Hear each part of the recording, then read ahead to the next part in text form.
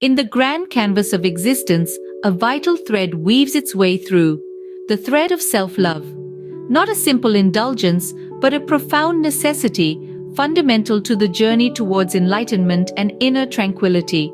It's a concept deeply rooted in Buddhism, recognizing that to truly extend love to others, one must first cultivate it within oneself. Consider self-love as the cornerstone of spiritual well-being. It's a compass guiding us to inner peace and happiness, providing the resilience to face life's challenges with equanimity. It empowers us to set boundaries, engage in self-care, and walk our spiritual path with unwavering determination. But how do we nurture self-love in a world often dominated by self-criticism and comparison? Begin with self-awareness and acceptance, the central tenets of Buddhist practice.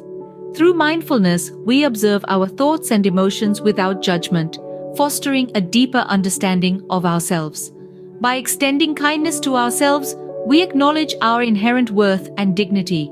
Self-love also embraces self-care in all its dimensions, physical, emotional, mental, and spiritual. By caring for our body and mind through practices like meditation and yoga, we create an environment for self-love to bloom. In a community of supportive fellow practitioners, self-love thrives.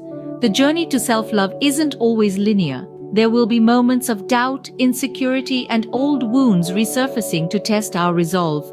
Yet with each mindful step, we move closer to embracing our true nature and experiencing the joy and freedom that comes from fully loving ourselves. So, have you ever loved yourself?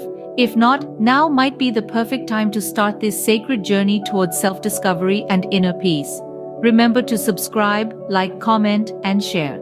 Video created by Krushna Chandra Mohapatra.